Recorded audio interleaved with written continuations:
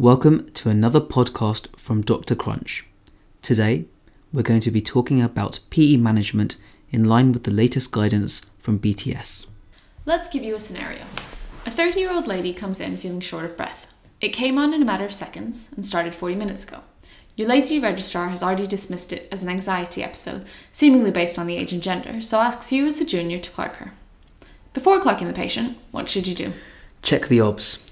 There's a respiratory rate of 22, SATs of 98% on air, blood pressure is 118 over 91, pulse of 82 beats per minute, temperature of 37.3. Do the saturations reassure you? Not at all. Uh, PE can be compensated for by hyperventilation.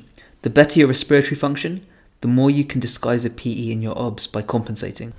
An uncompensated for PE will lead to type 1 respiratory failure. This is because it causes a ventilation perfusion mismatch.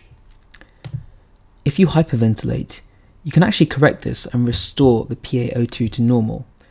And as you hyperventilate, you'd actually decrease your PaCO2 because PaCO2 is inversely proportional to your ventilation. This lady may actually be having a hyperventilation episode, but equally could be having a PE. Okay, let's skip to the history. What do you want to achieve by the end of your history, in particular for a suspected PE? Well, there are three things. Number one, I want to work down a differential diagnosis for a sudden onset shortness of breath in a 30 year old. This would include a PE, pneumothorax, anaphylaxis, panic attacks, and a foreign body in the respiratory tract. Asthma is also a possibility, but usually that will come on over minutes rather than seconds. The second thing I want to do is appreciate just how unwell the patient is right now. The OBS and the exercise tolerance would help be pretty helpful here. And if this is a PE, we also want to classify the severity of the PE. So for most severe, you'd firstly have a cardiac arrest, and hopefully you'd be able to spot that. Um, and that would be treated by thrombolysis. If you're going to thrombolyze someone in cardiac arrest, you've got to continue CPR for an hour at least, because it is a reversible cause. The next most scary would be a massive PE. That's defined as a PE where the blood pressure is less than 90, or we've got a drop in the blood pressure of 40 millimeters of mercury lasting for 15 minutes. At this point, you want a senior to decide about thrombolysis, and we're not going to cover these in any more detail in this podcast. The next most scary one is a submassive PE, and that's when you've got any evidence of right ventricular strain or acute cor pulmonale, and pretty much any other PE is non-massive. The third thing you need to work, find out from history is what the Wells score is for the PE, so you need to know the risk factors. Okay, your examination is unremarkable, except for the use of accessory muscles and a raised respiratory rate. How are you going to investigate PE? Okay, so there are probably three initial investigations you may consider. Firstly, a chest x ray. That's justified in any sort of sudden onset shortness of breath, and it helps with, with the differential, in particular for pneumothorax. In PE, you usually see nothing on the chest x ray, but occasionally there's decreased vascular markings, atelectasis, or a small pleural effusion. Occasionally you get this late sign, um, the so called Hampton's hump, which is that wedge shaped uh, infarct you read about. It's basically an ice cream cone with the vanilla ice creamy bit kind of towards the hilum and the cone part towards the edge. Uh, you can have an ECG. Uh, that classically would show uh, the S1, Q3, T3, but that only happens in about 10% of cases, and that's actually a sign of acute cor pulmonale, not specifically PE. You'd also get that in pneumothorax or bronchospasm. The most common ECG finding is just sinus tachy, and the next most common thing would be uh, T wave inversions in the anterior leads. Now, echo could also be used, and it would show right ventricular compromise if it's a big PE. In fact, if you've got a massive PE, then echo can actually be diagnostic as an alternative to CTPA. It would show right wall mesis, which is also known as McConnell sign. So these are the three kind of imaging style investigations uh, you could use. An ABG might also be done in a breathless patient if you're not quite sure of the cause in particular, and you might have reduced PaO2, reduced PaCO2, uh, and that would reduce PaCO2 because of hyperventilation. Okay, you mentioned a Wells score earlier. What's that? Well, a Wells score is a way of working out the risk of PE. So whenever you're organ, organ, choosing any investigations, you need to document a Wells score. There are, you can look up the table for yourself, but briefly, uh, the first two scoring points are worth three, and that's for DVT or any alternative diagnosis being less likely than PE, or in other words, PE being the most likely diagnosis. So three points if you clinically suspect a DVT, and three points if PE is the most likely diagnosis. The rest of them I kind of think of as this mnemonic Tim. And I just think, how would a breathless person say Tim? They'd say Tim. So that's T I H H M.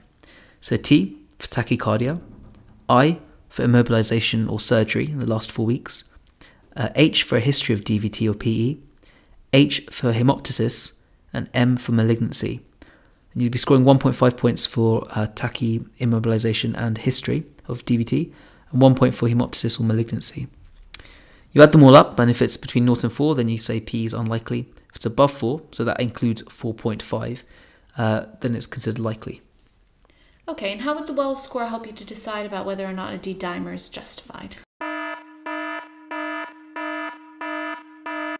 D dimers are amongst the most abused tests in medicine. D dimers would be raised in pretty much any cause of inflammation, uh, maybe it DIC or sepsis or trauma. Of particular note, malignancy, pregnancy, and recent surgery are all risk factors for VTE, but they also cause raised D dimers. So, how does the Wells score help you? Well, if you've got a low or intermediate probability, then a negative D dimer would rule out a, uh, a DVT or a PE. In general, for a high risk patient, you'd proceed straight to imaging. There's no point doing a D dimer. So, just to clarify this, in general, low risk patients can have um, a D dimer done, and if it's negative, this excludes PE. If it's positive, further imaging is needed. If the patient is high risk, or if D dimers are positive, then you'd start heparin. Okay, and in what circumstances would you use unfractionated heparin? So the three main ones for PE are wherever you need, you think you might need rapid reversal, if there's impaired renal function, or if it's a massive PE. Otherwise, you'd use low molecular weight heparin. Okay, what would you do next? Um, you get some imaging done as soon as possible. The BTS say within one hour for massive thrombolysis and within 24 hours for other PEs. CTPA is the gold standard as long as renal function is okay and there's no metformin in the last 24 hours. You could use a VQ scan uh, as long as you meet five criteria by the BTS.